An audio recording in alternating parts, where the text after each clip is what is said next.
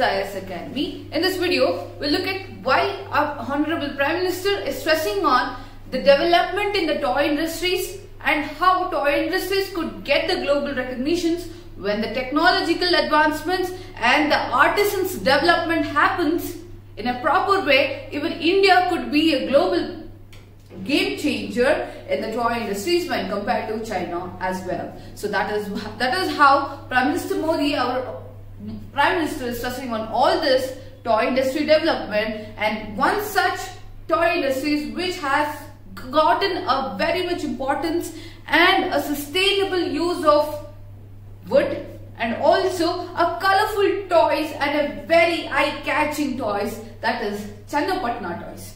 So Channapatna toys is the discussion of this video and this toys are very beautiful to look at and these are also very sustainable, organic and they're harmful, they're, harmless to the environment. So we'll see what is this Channapatna toys about and where it's its uh, inferences about and how why Minister Modi is stressing on the improvement of the toy industries and how the recent Toycathon, the uh, virtual tour about all these toys is getting importance and we'll see the complete details on it. So, Channapatna toys. Why this is in news? Because recently the Prime Minister of India has inaugurated the India Toy Fair 2021. India Toy Fair 2021 in, in, in New Delhi where he stresses the need for the innovation and novelties in the toy. You might have seen or used Lego toys, the building blocks which we get from the foreign, the abroad ideologies. Why can't our children also get with such toys, namely the Channapatna toys and many other toys are available in the market and improving the traditional values could also help our indigenous people to grow more. So that is why in that process innovation is the thing which makes you different from other toys when compared to the China toys also. Then he, he called upon Channapatna, the Karnataka toy makers. So Channapatna toys could be placed for Karnataka. So whenever Channapatna toys comes in any exams or any news, you have to get the mind, get the picture of Channapatna toys relating to Karnataka and the Karnataka toy makers. So then explore the possibilities of e-marketing, their traditional wares and across the country and the world. So it's mainly stressing on the remarketing of their products to the global recognition also. So this is how Prime Minister Modi is stressing on all these things and how the toy industries are also able to develop on its guidelines. So basically Channapatna toy, Channapatna is a town in Ramnagara district in Karnataka and it is popularly known as Gombegala Nagara. It is popularly known as Gombegala Nagara. That means city of toys or the toy, toy land of Karnataka. So as you can see here, as the name suggests, Gombegala Nagara, that means it is fully filled with the toys, with the happiness and the joy of playing with toys. So even we have a tradition of keeping these toys in, an, in the Dasara time and pray for them, give the rituals to them. So this is how the importance of the toy occurs for Karnataka and it is a very mandatory rituals which is the kings and queens ideologies was also based on this toys. So that importance has given the name Channapatna for the town name as Toyland, Toyland of Karnataka. Then it is famous for its exquisite, exquisite toys made by small scale industries in the town where as many as 2000 artisans are involved with around 80% of the workforce of men and 20% of the women. 80% of the men and 20% of the women are indulged in toy making. So imagine their employment, their livelihood mainly deals with this toy making only. So that is why it, it could be related to the toy land of Karnataka. Then the features. What are the features and how this toys becomes different from other things is that because of the raw materials which is used here. See, the toys are made with soft ivory wood. Soft ivory wood. Harmless to the small kids also. And it is given a polished look, adding colors and other beautifications. Yes, as you, as you have seen the pictures before, the colors and the beautifications are very vibrant and eye-catching. Then the wood used in the dudi wood, dudi wood, dudi, that means the milk wood, which is precisely white in color and easy to carve out. So whenever the wood which is soft and easy to carve out, carve out, we can give any shapes of our desirable ideas and desirable shapes that is why the milk wood is chosen for the carvation. Then the woodwork is colored using vegetable dyes and is free of chemicals. For the glazing of the toys, the polishing is done with the high abrasive properties grass. Then, and the toys are completely environment friendly. So, as you can see, the usage of vegetable dyes becomes very important and the abrasive property of the grass which is used for giving the polishing is also chemical free. So whenever you can around say give to a small baby also to use this toys. That is the very much beauty of having the Channapatna toys such that it is chemical free. Not as such the China toys which has the plastic in everything. No. Even a small kid can play with it it is chemical free, it is toxic free and around say but blindly you can give to the children.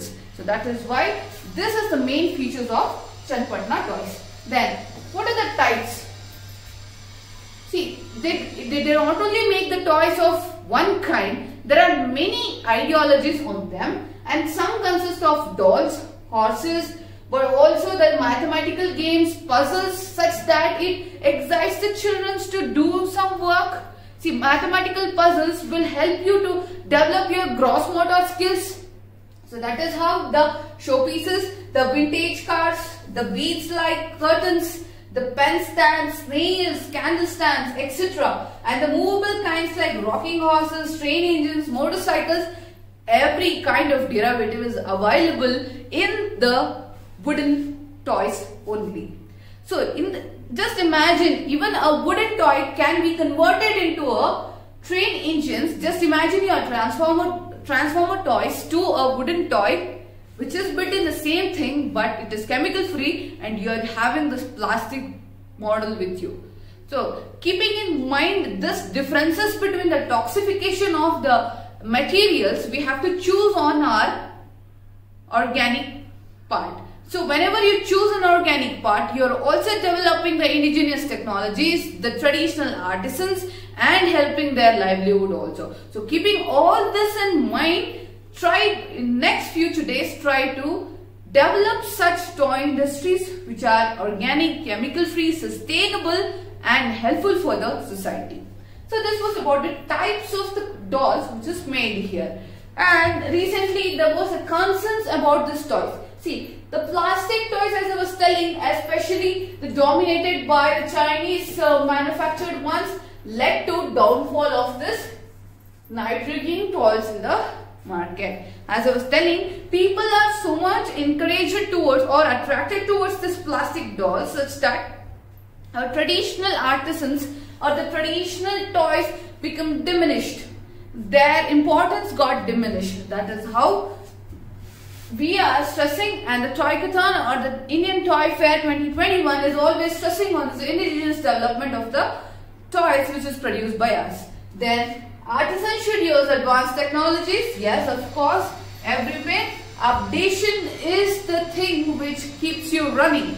So advanced technology is important and this toys across the world they should also use the information technology IT workforce available in the Bangalore for the purpose. Yes, information, awareness and the branding of such toys should be done in a very systematic manner such that our toys also get the information. Then, our toys should also get the recognition is what government is also stressing on and even the artisans are also striving for that. So what is this India Toy Fair as I was telling? It's a landmark initiative of the government. Yes, it's a landmark because we are helping the artisans, artisans livelihood, skill development is happening. Then, in line with the vision of Atmanirbhar Bharat by 20, the year 2022, to mark the 75th year of Indian independence, India, local toys and game industry is set to play a crucial role in realizing the aspirations and the desires and various efforts to make India stand out of its rich and multifarious toy production. So, toy production. Toy industry should be developed such that we become the global giants. Then, Indian Toy Fair 2021 is the first ever digitally accessible exhibition. See, after the COVID-19 pandemic, we are not able to go out or the accessibility of the information is very crucial now. So, to, to have a comforts, to have all the awareness in the comforts of their home, this is a digitally accessible exhibition and the platform and government also has launched the Toy Toycathon, an online gaming or the Toycathon innovative toys, games, quizzes, puzzles are all arranged for the children and this is the banner of the Toycathon 2021 where you get to attain part 1, part 2 quizzes, puzzles. I do recommend you people should also go on, take up this Toycathon fest, take up this puzzles. It would be very amazing and this is a very good initiative and a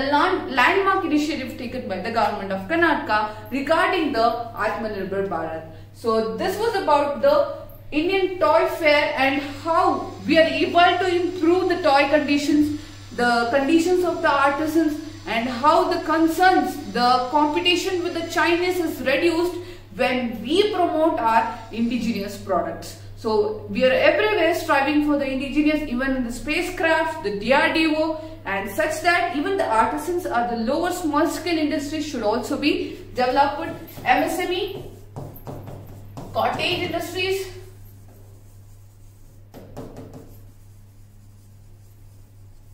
all such small scale businesses should be improved. That is the main aim of having all such exhibitions, exposure to the world. So by concluding this, I recommend you people also should improve this indigenous qualities and help our artisans to better their life for a better future as also because they are all sustainable, they are toxic free and very helpful to our children also. So keeping that in mind, I, I'd like to end or conclude my video and for any further details or for any further current affairs videos you can subscribe to our YouTube channel Believers IAS Academy and you can also subscribe to our login to our website believersias.com and you can also follow us on Facebook, Twitter, Instagram, Facebook, uh, Instagram, Tumblr for any interesting infographics, any information about the UPSC notification and every all such information is provided in our website. And you can also call up on our number 9611 for any further information, the fundamental the foundational courses, the optional preparation and every information is available. So I guess this video could be informating and eye-opener for all the people to encourage our indigenous people and I hopefully after seeing my video I hope that you people also try to change your mindsets towards the indigenous people and help the development of artisans.